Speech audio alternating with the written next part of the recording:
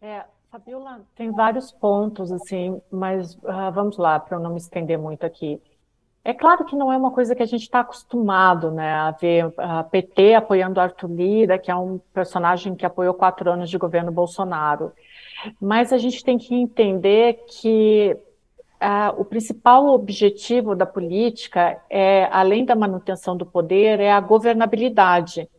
Então, a partir do momento em que o PT, inclusive, já tem um histórico de ter apoiado outros nomes para a presidência da Câmara e logo em seguida, com um viés político e autoritário, ter sofrido um processo de impeachment, é, eu não digo normal, mas é consequência da nossa política que o PT apoie de novo um personagem que eles acreditam que pode ganhar e que pode ser um aliado para a governabilidade.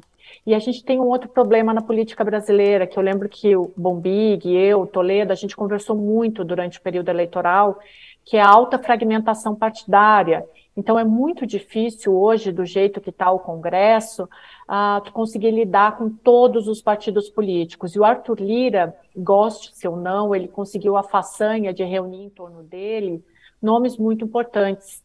Uh, e a maioria do Congresso Nacional, talvez, uh, hoje, seja a maior votação em torno de um nome de um, de um presidente da Câmara. Né? Então, como que o PT vai se opor a esse possível aliado na governabilidade? Né? É uma questão um pouco complicada, mas dentro do jogo político que a gente tem é o que é possível fazer para que se possa governar uh, no, nos próximos anos.